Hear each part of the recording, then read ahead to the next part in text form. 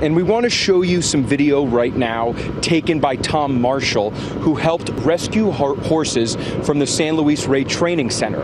Those who run the training center didn't want the racehorses to be trapped in their stables as the fire approached, so they released more than 500, and unsurprisingly, they were spooked. Unfortunately, some horses were killed in the fire, but pretty remarkable video provided to us there by Tom Marshall.